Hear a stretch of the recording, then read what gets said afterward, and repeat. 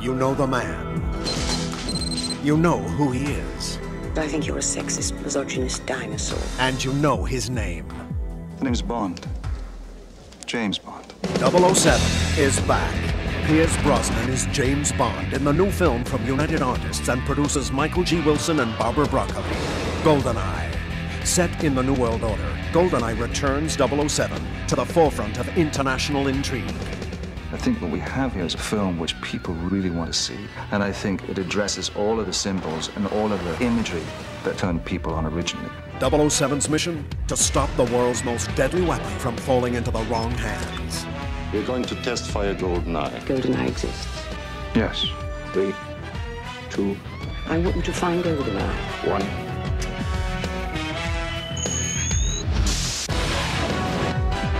Beg your pardon. Forgot to knock. Bond, come back alive. 633, take three. Acclaimed action director Martin Campbell assembled an outstanding international cast for GoldenEye. Izabella Scorupco plays Bond's Russian comrade Natalia. As cunning as she is alluring, Natalia makes a formidable match for 007. She's a very strong and brave girl, and I admire her. She's always on the run and escaping through the whole crowd. Do you know how to use one of these?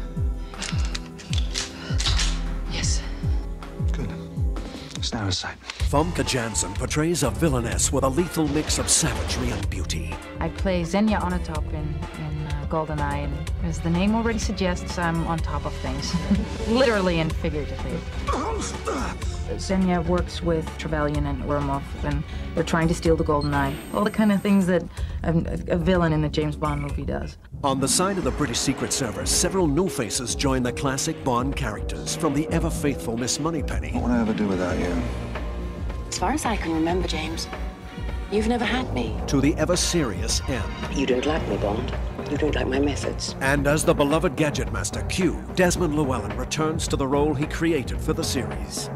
Morning, Q. Sorry about the leg. Huh. Skiing? Hunting. Here we go. Turn over and action. GoldenEye was filmed on locations around the world England, Russia, Puerto Rico, and Monte Carlo.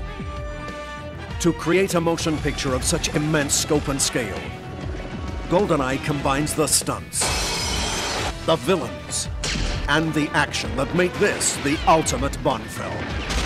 I think the film that we've got has got a grittiness to it. This was big. This was a full-out action movie. The shooting was intense. Three, two, one, action, go! It's classic Bond. He just does incredible things, can fly through the air. Death is always seconds, inches away. It was exciting.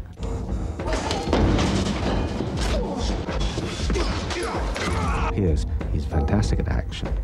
Um, and he's a very fine actor, so all of those, and, well, he's a tremendous looking guy. You know, he psychologically got into the role of Bond. You know, he always did a lot of work on it and came extremely well prepared. It's a fine line of you and him. And you can't help, I mean, it comes into your life anyway. Any role does.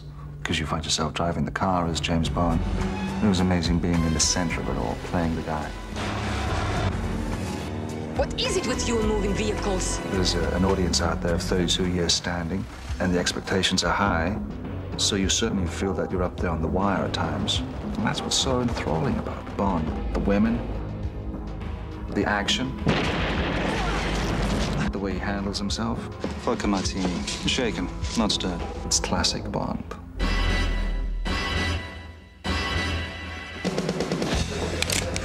Enjoy it while it lasts. Very words I live by. Is the satellite in range? How do you stop it? He's getting ready to signal the satellite. Target is London. I think I think Bond is and should always be a fantasy world where people can escape. It's just a very big kick.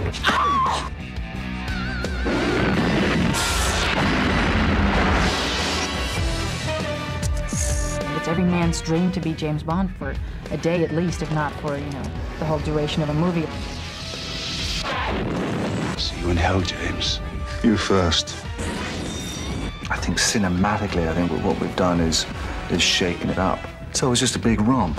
You don't need the gun. That depends on your definition of safe sex.